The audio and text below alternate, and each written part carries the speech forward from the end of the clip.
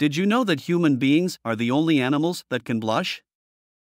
That's right, no other creature experiences the embarrassment and self consciousness that we do when our face turns red.